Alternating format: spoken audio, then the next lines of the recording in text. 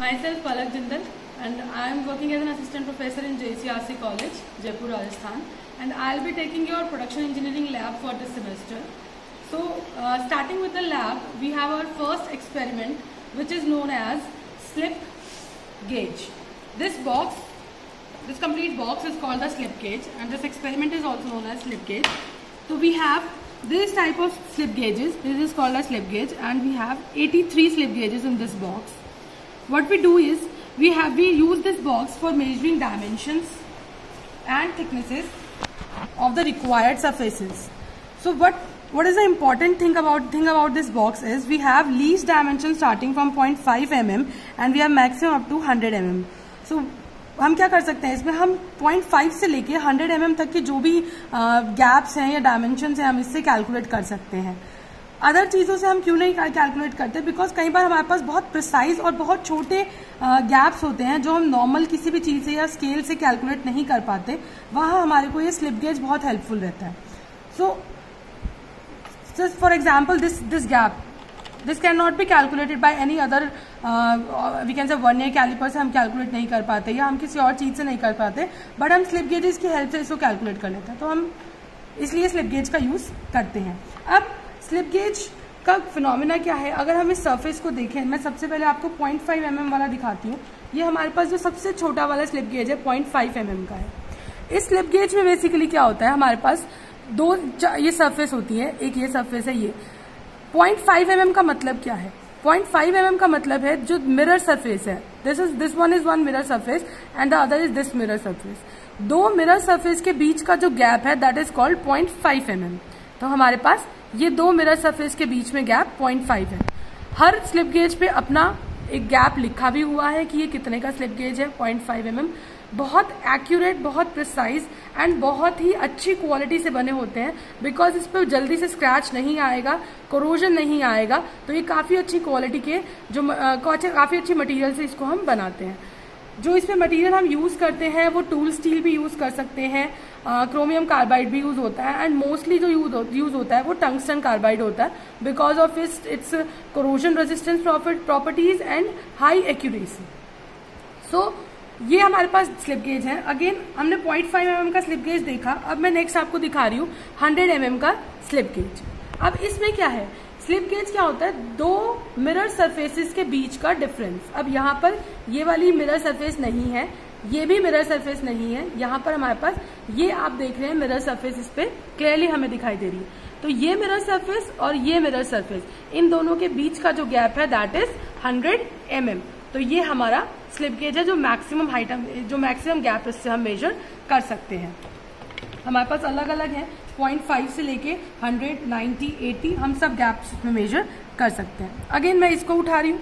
इसमें भी वही है दो जो सरफेस हमारी मिरर सरफेस है उनके बीच का हम गैप इससे मेजर करते हैं। हमें सिंपल ये देखना है कि कौन सी सरफेस मिरर सरफेस है। ये और ये हमारी मिरर सरफेस दैट मीन्स ये इन दोनों के बीच का गैप इस पे मेंशन हुआ हुआ स्लिप गेज में एक बहुत अच्छा फिनोमिना होता है जिसको हम बोलते हैं स्लिप गेज का एक बहुत अच्छा प्रोसेस होता है, बहुत इंपॉर्टेंट प्रोसेस होता है, जिसको हम बोलते हैं रिंगिंग अब रिंगिंग क्या है? मुझे सपोज़ ये गैप मेजर करना है। मेरा ये गैप इससे मेजर नहीं हो रहा है, अभी भी लूज है। बट अगर मैं इसके साथ इसको कंबाइन कर दूँगी तो मेरा ये गैप मेजर इजिली हो जाएगा अभी भी नहीं हो रहा। तो मैं क्या करूँगी, इससे कोई छोटा लेंगे, हमने ये लिया और हमने इसको इसके अंदर प्लेस करा तो ये अभी भी नहीं हुआ हमने फिर सबसे स्मॉल वाला गैप लिया और इसको इसमें प्लेस कर दिया एंड दिस इज़ डन तो हमारा ये गैप हमारा फिल हो गया। बट हो क्या रहा है इस गैप को फिल करते हुए कि ये इधर जा रहा है और ये इधर जा रहा है? ये दोनों इसमें से निकल गए। तो रिंगिंग क्या होता है? रिंगिंग बेसिकली हम दो मिरर सरफेसिस के बीच में जब इस तरह से इसको रखेंगे और इसको प्रेशराइज करेंगे तो ये एक दूसरे से चिपक जाएँगे। ये एक दूसरे से स्टिक हो जाएँगे और ये एक दूसरे से अब अलग नहीं होंगे। ये मैं इसको शो कर ठीक है? अलग क्यों हो रहे बिकॉज़ ये दोनों सरफेसेस ये दोनों जो भी सरफेसेस हमने यूज़ करी, बहुत फाइन और बहुत हाई एक्यूरेसी की सरफेस है। इन दोनों के बीच का जो मॉलिकुलर अट्रैक्शन है, उसकी वजह से ये दोनों आपस में एक दूसरे से चिपक गए। क्योंकि सरफेस पे कोई स्क्रैच नहीं है तो यहाँ पर हमारे पास ये दोनों आपस में चिपक गए। अब मुझे अगर मेजर करना है तो मैं इसको साथ में मेजर कर सकती हूँ। ये हटेगा भी नहीं, हिलेगा भी नहीं तो मुझे एग्जैक्ट डायमेंशन इसकी मिल जाएँगी। तो इस प्रोसेस को हम बोलते हैं रिंगिंग एक दोनों सरफेस को आपस में एक दूसरे के ऊपर हम इस तरीके से चिपका देते हैं। ये देखिए, ये दोनों इस टाइम एक दूसरे से स्टिक हो गए हैं। बिना किसी लिब्रिकेशन सॉरी बिना किसी एडेसिव के ये एक दूसरे के साथ स्टिक हो गए just because of the wringing process और वो रिंगिंग क्यों हो रही है?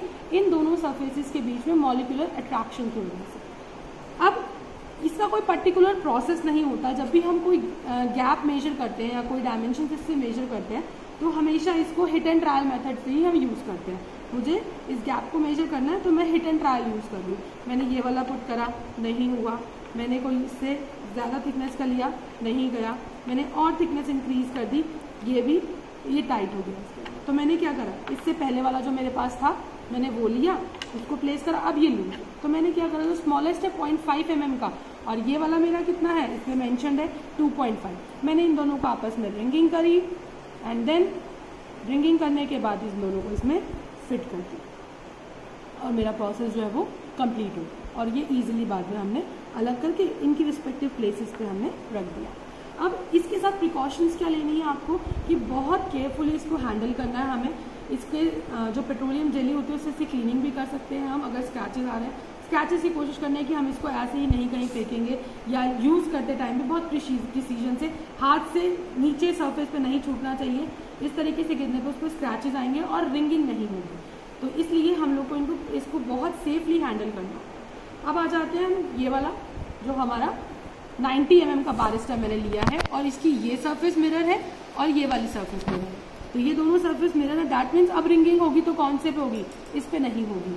इसकी मिरर सरफेस और इसकी मिरर सरफेस में आपस में रिंगिंग होगी। एंड मैंने क्या करा? इसको इस पे इस तरीके से प्लेस कर देना है। प्लेस करने के बाद ये इस तरीके से इस पर रिंगिंग का जो फिनोमिना है वो कंप्लीट हो। ठीक है? इस तरीके से हम अपना रिंगिंग कंप्लीट करें। तो ये हमारा जो ये है एक्सपेरिमेंट है, इसको हम बोलते हैं साइन गेज और ये हमारा कैलकुलेशंस में डायमेंज गैप्स मेजर करने में बेसिकली हम इसको यूज़ करते हैं थैंक यू क्लास